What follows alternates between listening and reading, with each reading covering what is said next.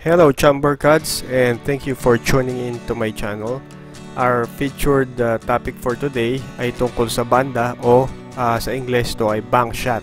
But before that, subscribe muna po sa mga hindi pa nakasubscribe, like, and share this video if you like this video. Okay, so ito po yung mga simpleng pamamaraan kung paano magpabanda sa bilyar.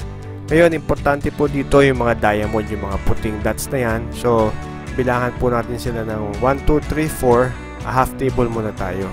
So, ito example dito, kukunin natin yung kalahati assuming nasa, nasa pangunang diamond ang ating object ball at ang ating pamato ay nasa fourth diamond. So, ang kalahati nito ay yung dos. Ngayon, example na nasa pangatlong uh, diamond ang ating pamato. So, ang kalahati nito ay 1 and half. So, sa gitna ng 1 and 2. Ayun. So, simple lang po example natin nakatapat sa mga diamond para mas madaling uh, matutunan at mala, maku makuha yung konsepto ng bank shot. So, yung last example na yon ay 2 diamonds. So, ang gitna noon ay 1 diamond. Dito sa next set ng example na to ay iba ang pwesto ng object ball. Ngunit nakatapat ang object ball at pamato sa diamond. Kaya madaling kalkulahin ang patama nito. Bibilangin mo lang yung kalahati noong mga diamonds. Yung kanina ay nasa 4th diamond. So kalahati nito ay 2. Ito naman ay nasa 3rd diamond. So ang kalahati nito ay 1 and half.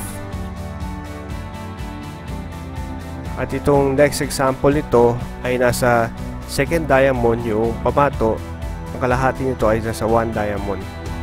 So, sa susunod na example ay off ang angulo.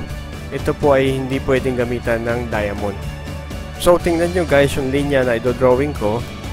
Pwede nyo i-pause, pwede nyo ulit-ulitin para makita nyo kung saan yung patama, ayun, patama na nag-cross yung dalawang linya na pula kung saan doon mo makikita yung patama mo doon sa object ball.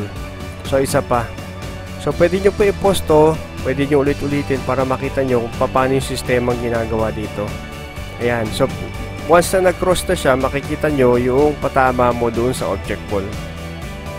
So guys, kung saan magkukross yung dalawang linya, doon na magiging patama mo sa object ball para pabandahin mo. So, subscribe, like, and share po doon sa lahat ng gusto mag-comment. You can comment down below. And sana po may natutunan tayo sa maiksing video na ito. Uh, maraming salamat po for watching and more power to you guys and good luck sa practice.